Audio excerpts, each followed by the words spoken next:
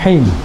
الحمد لله رب العالمين وبه نستعين ولا حول ولا قوة إلا بالله العلي العظيم رب اشرح لي صدري يسر لي أمري واحلل عقدة من لساني يفقهوا قولي السلام عليكم ورحمة الله وبركاته ยินดีต้อนรับพี่น้องทุกท่านนะครับ เข้าสู่รายการเรื่องเล่าสีขาวของเราอีกครั้งหนึ่งนะครับ ในวันนี้ Whitening Stories ของเราเสนอเกี่ยวกับเรื่องของมาลายกะเช่นเดิมนะครับ เราได้พูดคุยกับพี่น้องเกี่ยวกับลักษณะต่างๆ ที่สำคัญของบรรดามาลายกะทั้งหลายนะครับ ว่าส่วนใหญ่แล้วนะครับ หรือว่ามาลายกะทั้งหลายเนี่ยนะฮะจะมีลักษณะเฉพาะอะไรบ้างนะครับ ที่ถูกกล่าวไว้ในอัลกุรอาน หรือถูกกล่าวไว้ในอัลฮะดีษนะครับที่มีสายรายงานที่ซอฮีทั้งหลายนะครับ ก็อัลฮัมดุลิลละนะครับในครั้งก่อนเนี่ยเราได้พูดคุยกับพี่น้องในลักษณะที่ 22 นะครับ ซึ่งเป็นลักษณะที่ มีการพูดคุยพบปะกันนะครับระหว่างมาลายกะด้วยเช่นเดียวกันนะครับ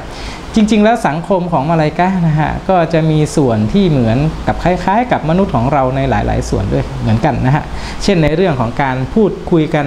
จะมีที่ชุมนุมกันนะครับมาลายกะจะไปร่วมชุมนุมกัน แล้วก็ไปพูดคุยกัน ไปแลกเปลี่ยนหรือว่าไปถกเรื่องต่างๆกันนะครับที่เกิดขึ้น ซึ่งนะฮะในครั้งก่อนเนี่ยเราได้พูดคุยถึงที่ชุมนุมของมาลายกะ ระดับสูงนะครับ ซึ่งมาลายการะดับสูงนะฮะก็คือมาลายกาที่ถือว่าถ้าเทียบกันก็คือเหมือนกับว่ามีระดับมียศนะฮะระดับที่สูงสูงสูงขึ้นไปนะครับ เช่นท่านยิบลีนท่านอิสรอฟีนนะครับท่านมีกาอีนหรือว่าท่านอื่นๆนะครับ ตรงนี้นะฮะพี่น้องการที่มาลายกาทั้งหลายนะครับที่อยู่ในระดับสูงพูดคุยกันเนี่ย เรื่องที่พูดคุยกันนะฮะมักจะเป็นหรือว่าจะต้องเป็นเรื่องที่มีความสำคัญมากนะครับ โดยเฉพาะอย่างยิ่งในฮะดีษที่ผมได้เรียนกับพี่น้องในครั้งก่อนนะครับ เกี่ยวกับบรรดามาเลกาชั้นสูงนะที่ว่าท่านต่างได้แลกเปลี่ยนความคิดเห็นในในฮะดีษเนี่ยนะครับที่มีสายรายงานที่ซอฮีเนี่ยอัลลอฮฺซุบฮานุวะตาลาได้ถามท่านนบีมุฮัมมัดสุลลัลลอฮุอะลัยวะสัลลัมนะครับามท่านว่าบรรดามาลายกาที่อยู่ที่ชั้นสูงนะครับมาลายกาที่อยู่ในที่ชุมนุมชั้นสูงเนี่ยเขาได้พูดคุยกัน หรือว่าได้ถกกันเรื่องอะไรนะครับ ซึ่งท่านนบีมุฮัมมัดสุลลัลฮุอะลัยวะสัลลัมนะครับก็ได้กล่าวว่าบรรดามาลายกาทั้งหลายเนี่ยเขาถกกันในเรื่องของดาราจัตและก็ในเรื่องของกัฟฟารอตใน2ออย่างนะฮะที่เขาถกกัน เรื่องดาราจัตก็คือเป็นเรื่องของระดับขั้นต่างๆนะครับ เรื่องกัฟฟารอตก็คือการ อภัยโทษ หรือว่าสิ่งที่ลบล้างบาปต่างๆออกนะครับ จนหมดไป ตรงนี้นะฮะถือว่าเป็นเรื่องที่มีความสำคัญมาก ถ้าถามว่าชีวิตของมนุษย์เราทั้งหมดเนี่ยนะฮะบ่าวของอัลลอฮฺซุบฮานุวตาลา ที่พระองค์ส่งเรามาในโลกดุนยาเนี่ยนะครับ สิ่งที่เราต้องการก็มีอยู่แค่สองอย่างครับหนึ่งก็คือ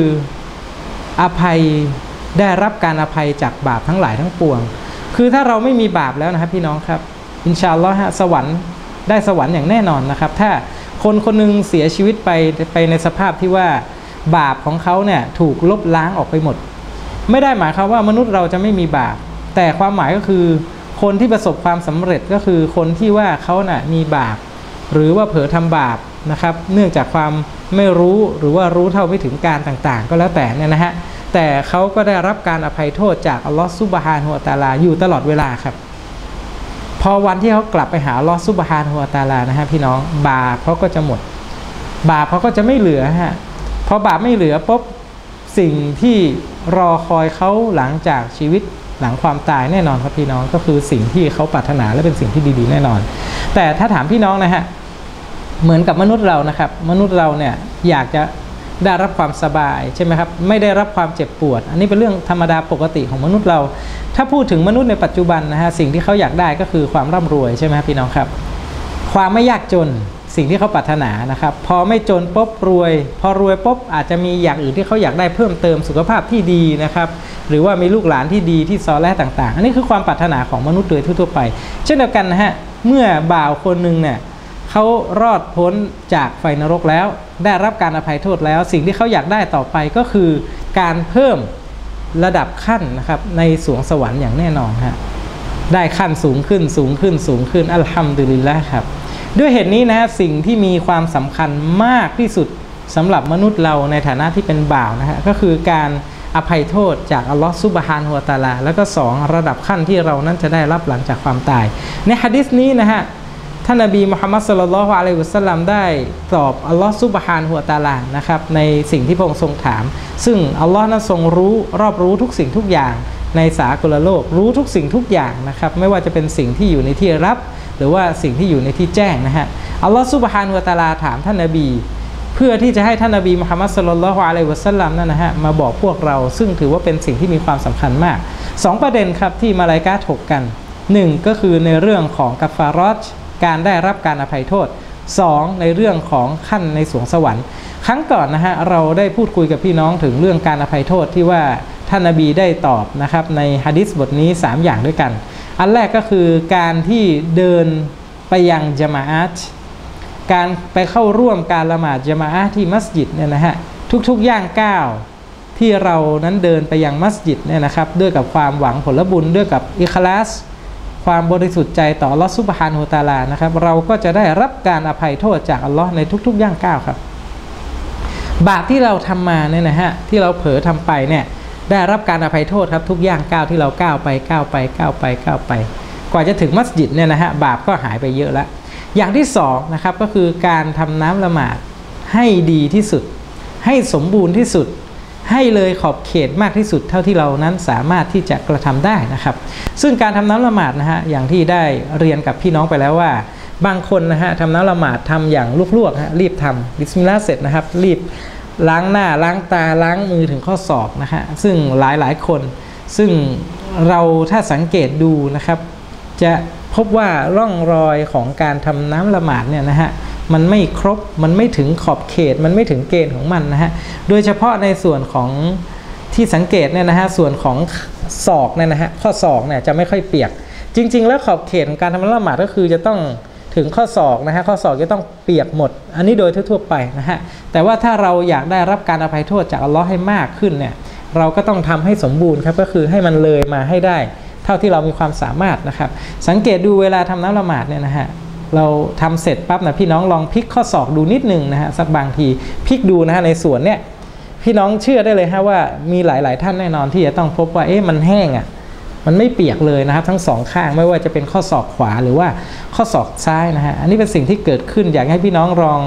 พิจารณาลองพยายามดูกันนะครับ ทุกครั้งที่ว่าเราทำน้ำละหมาด หรือว่าลองสุ่มดูเป็นบางครั้งก็ได้นะฮะเราจะเห็นว่าบางทีมันไม่ถึงขอบเขตของเรา ตาตุ่มก็เหมือนกันนะฮะเวลา เวลาที่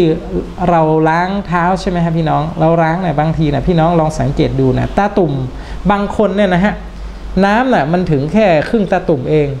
บางคนน่ะไม่ถึงครึ่งด้วยซ้ำไปนะครับ บางคนเนี่ยส่วนท้ายๆของตาตุ่มด้านหลังนะฮะตรงนี้ก็จะไม่เปียกเหมือนกัน เพราะนั้นบางทีนะฮะส่วนเท้าเนี่ยจะเห็นหลายคนบางครั้งผมเคยเห็นนะฮะบางคนทำน้ำละหมาดเนี่ยมือเนี่ยไม่ได้ไปสัมผัสโดนเลยก็คือเอาน้ำนะครับ ล้างล้างเหมือนกับเปิดก๊อกนะฮะ เปิดก๊อกเปิดแรงด้วยนะฮะ ซึ่งเป็นมูบาเซตนะ เป็นการเขาเรียกว่าซูริซูไลในเรื่องของน้ำนะ ซึ่งท่านนบีห้าม ท่านนบีบอกกับซอบ้าท่านหนึ่งนะฮะ ขณะที่ว่ากำลังทำน้ำละหมาดอยู่เนี่ย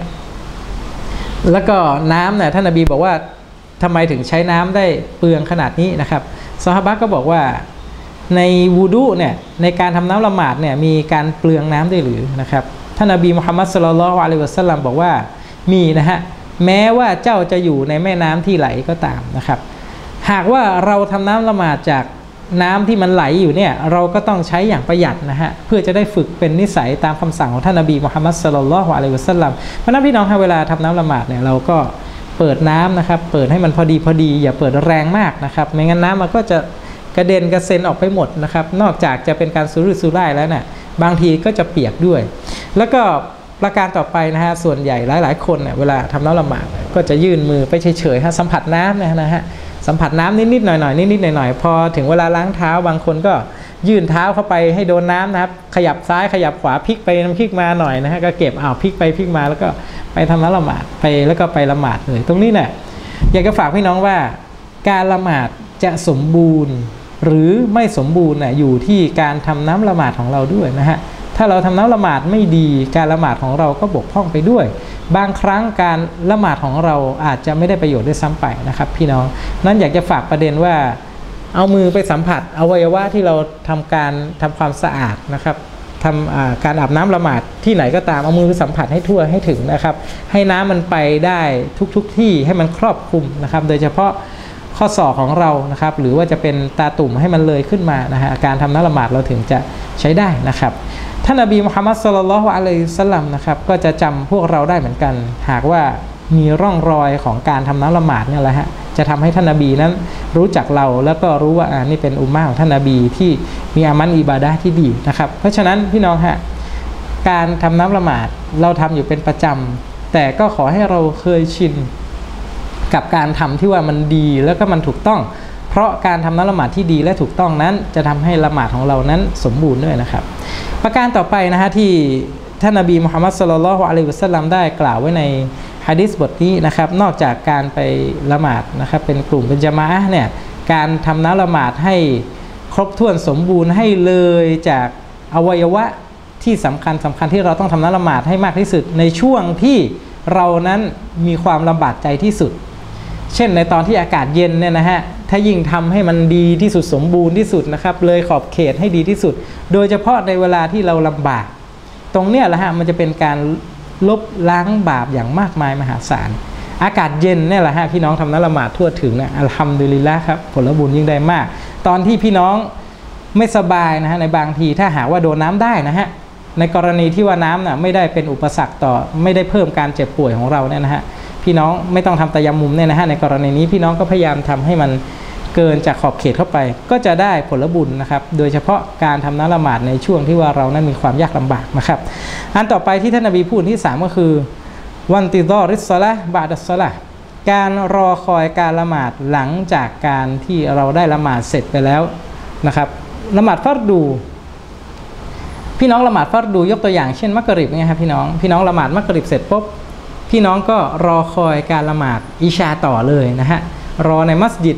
พี่น้องก็เอาหยิบอัลกุรอานนะครับเอามาอ่าน หรือว่าอาจจะหยิบหนังสือหยิบอะไรที่เป็นเรื่องของหลักการศาสนาเอามาศึกษาค้นคว้าไปเรื่อยๆนะฮะระหว่างที่เราอยู่ในมัสยิดเนี่ยการรอละหมาดเพื่อรอละหมาดอิชานะครับตรงเนี้ยระหว่างที่เรารอมักกะลิบ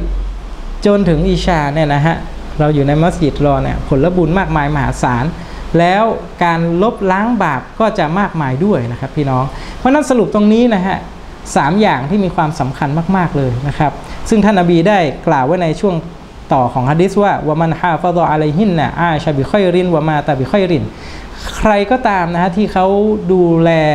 รักษาสิ่งต่างๆ เหล่านี้อย่างดีงามและต่อเนื่องเนี่ยนะครับเขาก็จะมีชีวิตอย่างดีครับ ใช้ชีวิตอยู่บนความดีงามความถูกต้อง และ เขาจะเสียชีวิตบนความดีงามและความถูกต้องด้วย พี่น้องคิดดูนะฮะ การมีชีวิตของเราก็อยู่บนความดีงาม การเสียชีวิตของเราก็เสียชีวิตอยู่บนความดีงาม มันมีอะไรที่ดีแล้วก็ประเสริฐยิ่งกว่านี้อีกครับ พี่น้องครับ เราพยายามรักษานะฮะละหมาดยามาอะให้มากที่สุดนะครับ ไปละหมาดที่มัสยิดให้มากที่สุด หรือว่าการที่เรานั้นทำน้ำละหมาดให้ดีที่สุด อาบน้ำละหมาดให้ดีที่สุด โดยเฉพาะในช่วงที่เรานั้นอยู่ในความไม่สบายใจหรือว่าลำบากใจ หรือว่าในช่วงที่อากาศหนาวเย็นมากๆเนี่ยนะครับ ตรงนี้เรายิ่งทำให้เกินขอบเขตก็จะยิ่งดีและได้รับการอภัยโทษมากขึ้น แล้วก็การรอละหมาดระหว่างละหมาดนะฮะโดยเฉพาะช่วงมักกริบอิชาถ้ารอได้อัลฮัมดุลิลละนะครับพี่น้องพยายามรอแล้วก็อาจจะอ่านคุรานไปนะครับ หรือว่าอาจจะอ่านศึกษาหนังสือเกี่ยวกับหลักการวิชาการศาสนาต่างๆอินชาอัลลอฮ์นะฮะในส่วนนี้ เป็นการลบล้างบาปทำอย่างต่อเนื่อง ผู้ใดที่ทำอยู่เป็นประจำเนี่ยนะฮะมีชีวิตก็จะดีงาม การเสียชีวิตของเขาก็จะเป็นสิ่งที่ดีงามด้วยกันนะครับ นี่คือสิ่งแรกนะฮะแล้วในช่วงท้ายของฮะดิษนี้นะครับ เรื่องของดารจานะฮะได้กล่าวถึงเรื่องของขั้นต่างๆ ในสวงสวรรค์เนี่ยการเพิ่มขั้นต่างๆ ไม่ว่าจะเป็นขั้นของพี่น้องเองนะฮะ การเป็นที่รักของอัลลอฮ์ที่มากขึ้น หรือว่าการเพิ่มขั้นในสวงสวรรค์เนี่ยนะฮะก็มีอยู่ 3 อย่างด้วยกันนะฮะที่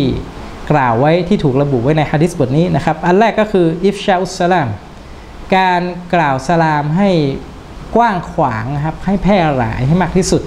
การกล่าวสลามเนี่ยนะพี่น้องครับ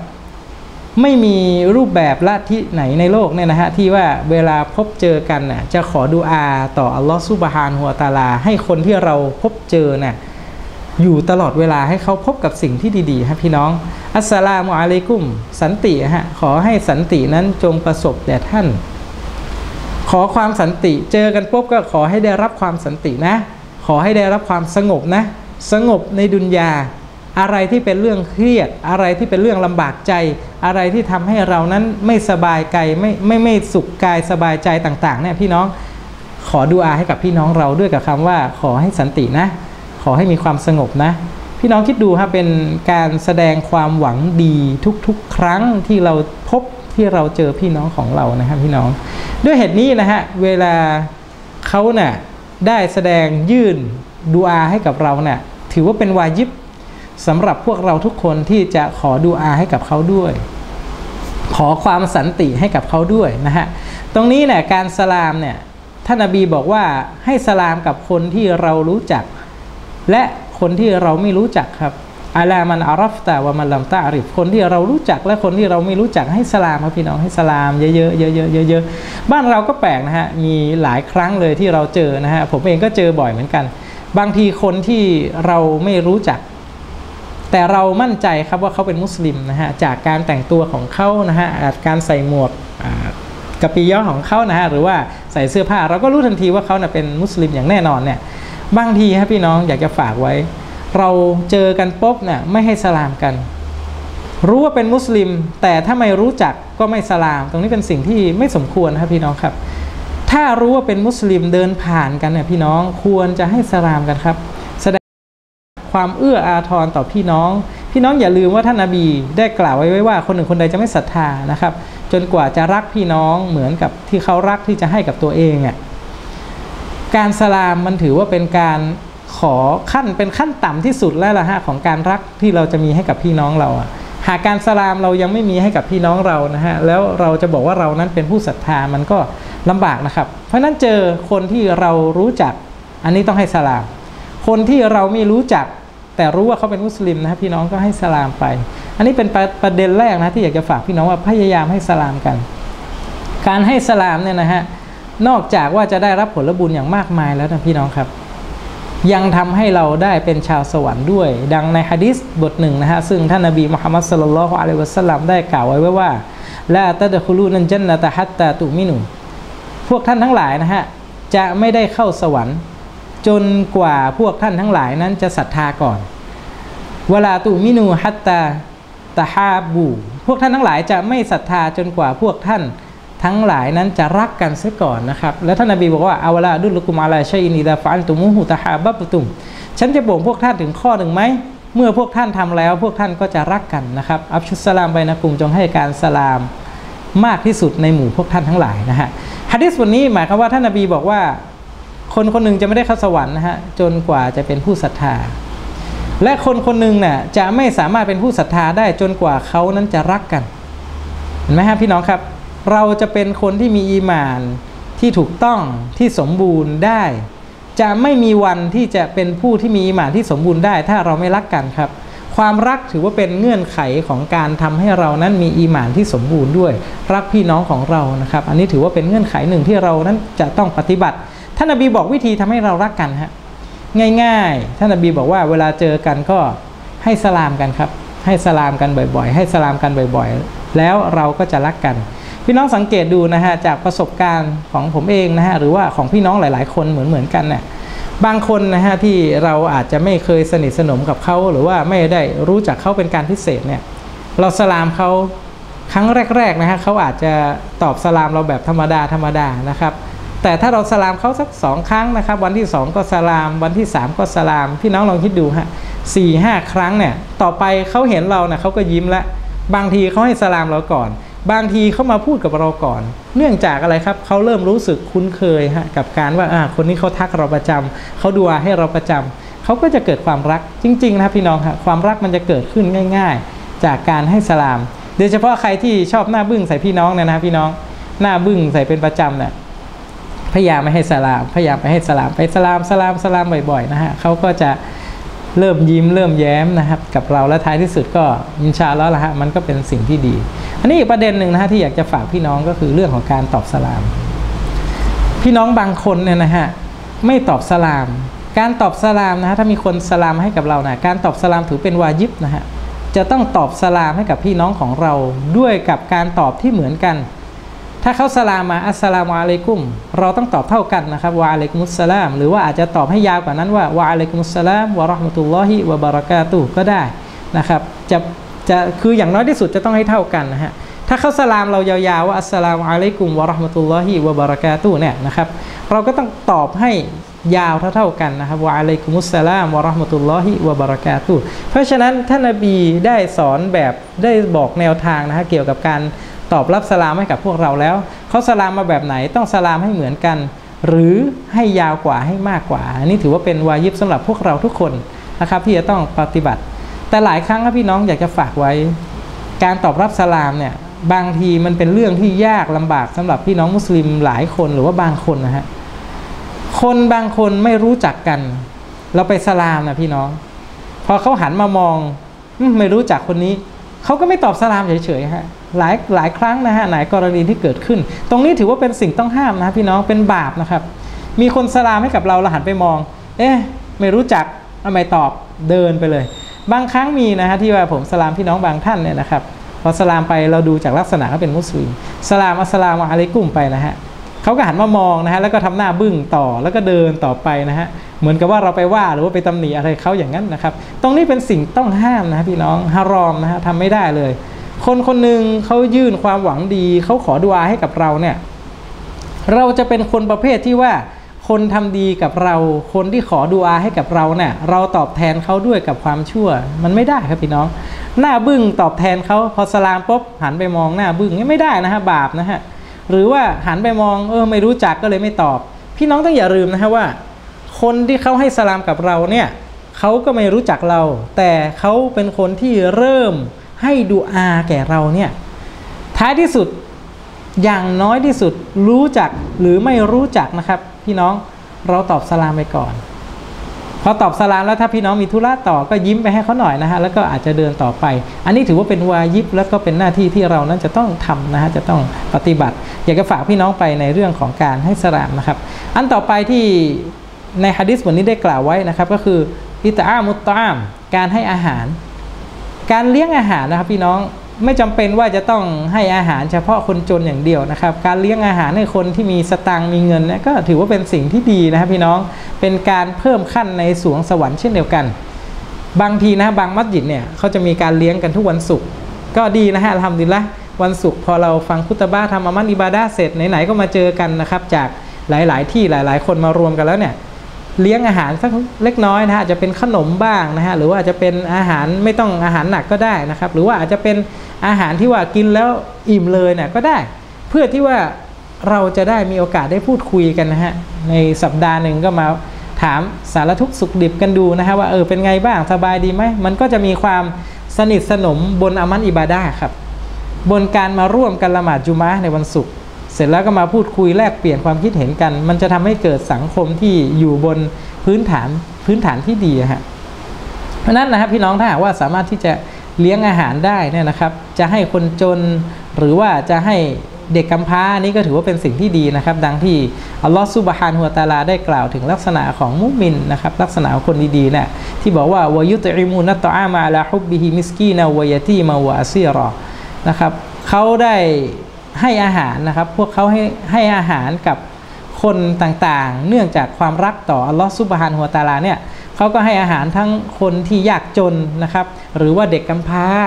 หรือว่าจะให้กับบรรดาเฉลยต่างๆนะครับ ตรงนี้จะเห็นว่าอิสลามเราเนี่ยให้ทำดีให้ปฏิบัติดีกับคนหลาย ๆ กลุ่ม คนยากจน นะฮะเราต้องดูแลแล้วก็รักเขาเป็นพิเศษหน่อยนะครับ คนที่เป็นเด็กกำพร้าเนี่ยพี่น้องพยายามให้อาหารเขาเพราะว่าเขาต้องการความอบอุ่น บางคนนะฮะเข้าใจผิดคิดว่าเด็กกำพร้าแต่มีตังค์คือบางทีนะพ่อเขาเสียไปแต่ทิ้งมรดกไว้เยอะแยะเป็น 10 ล้านร้อยล้านเนี่ยโอ้ไม่ต้องไปเลี้ยงอาหารเขาแล้วเขารวยกว่าเราอีกอันนี้ไม่ใช่นะพี่น้องเป็นการเข้าใจผิด พี่น้องอย่าลืมว่าเด็กกำพร้าสิ่งที่เขาขาดหายไปนะก็คือพ่อ พ่อซึ่งให้ความอบอุ่นกับลูกนะครับ เด็กยังไงยังไงก็ต้องการความอบอุ่นจากผู้ที่เป็นพ่ออย่างแน่นอนในเมื่อเขาเสียพ่อไป เป็นการทดสอบจากลอตาลา การที่เราพาเด็กคนนั้นอาหามาหน่อยนะเดี๋ยวน้าจะเลี้ยงอาหารนะวันนี้นะครับ หรือว่าเดี๋ยวพี่จะเลี้ยงอาหารเดี๋ยวบังจะเลี้ยงอาหาร หรือว่าเดี๋ยวจ้าจะพาหนูไปเลี้ยงอาหารนะมือนี้เนี่ยมันให้เด็กที่เป็นเด็กกำพร้าเขารู้สึก รักในสภาพสังคมมุสลิม แล้วก็ได้รับความอบอุ่นนะฮะเขาก็จะเติบโตมาเป็นคนที่รู้จักให้ด้วย ไม่ใช่พอเห็นว่ารวยเราไม่ให้ปุ๊บนะฮะบางทีเขาโตมาเขาก็จะกลายเป็นคนตนีทีเหนียวไปได้เหมือนกันนะครับ เพราะฉะนั้นการให้อาหารเนี่ยเด็กยากจนนะครับ หรือว่าเด็กกำพร้าเนี่ยเราก็ควรที่จะไปให้เขารวมถึงนะฮะในอันกุรานที่บอกว่าแม้กระทั่งเฉลยฮะเฉลยจากสงครามต่างๆเนี่ย อิสลามก็สอนให้เราทำความดีกับเขานะครับ แม้กระทั่งเรื่องอาหารที่เป็นพื้นฐานนะอัลลอฮ์ก็สั่งใช้นะครับว่าให้อาหารกับทรัพย์เฉลย ให้กับเฉลย ไม่เขาต้องอดต้องอยากนะครับ ไม่เหมือนกับการกระทำของคนบางกลุ่มที่อ้างตัวว่าเป็นผู้เปลี่ยนแปลงโลกนะครับ หรือว่าผู้พิทักษ์โลก หรือว่าผู้ดูแลโลกอะไรพวกเนี้ยนะฮะท้ายสุดพอจับเฉลยได้ก็ทำการทรมานทรกรรมสารพัดจะอย่างที่จะทำได้นะฮะตรงนี้เนี่ยเป็นการกระทำของคนที่อ้างตัวว่าเป็นคนดี แต่อิสลามเราครับ คนที่เป็นศัตรูเราคนที่เป็นเฉลยเราต่อต้านอิสลามทำลายล้างอิสลามเพราะมีสงครามเราจับเฉลยมาได้เนี่ยเราให้อาหารก็ได้ผลบุญครับพี่น้อง ให้อาหารเนื่องจากอัลลอฮฺซุบฮานหัวตาลา ซึ่งการให้อาหารตรงเนี้ยนะฮะในอายะก็บอกว่าลานูรีดูมิงกุมจาซาอาวลาชุกูรอเราไม่ได้ต้องการนะครับ เนื่องจากการให้อาหารไม่ได้ต้องการการตอบแทนหรือว่าการขอบคุณใด ๆ จากพวกเขา เพราะฉะนั้นการทำอามันิบาดาต่างๆเนี่ยนะฮะ พี่น้องไม่จำเป็นว่าเวลาให้อาหารเนี่ยจะต้องเออนะให้เขามาทำอย่างนั้นมาทำอย่างนี้กับเรา แล้วก็จะต้องตอบแทนเราด้วยกับสิ่งนั้นสิ่งนี้ สิ่งที่มุสลิมเราทำก็คือต้องการได้รับการตอบแทนจากลอสุบฮานวตาลานะครับ อย่างสุดท้ายก็คือการละหมาดในขณะที่ว่าคนอื่นนั้นนอนหลับ อันนี้ถือว่าเป็นสิ่งที่เรานั้นควรที่จะกระทำแล้วก็จะเป็นการ เพิ่มขั้นในสวงสวรรค์ให้กับเรานะครับ วันนี้เรื่องเล่าสีขาวนะครับ ผมคอลิตวารีก็คงฝากพี่น้องไว้เพียงแค่นี้นะครับ ในครั้งต่อไปคงมาพูดกับพี่น้องในเรื่องของมาลายกากันต่อนะครับ วันนี้อัสสลามุอะลัยกุมวะราะห์มะตุลลอฮิวะบะเราะกาตุฮ์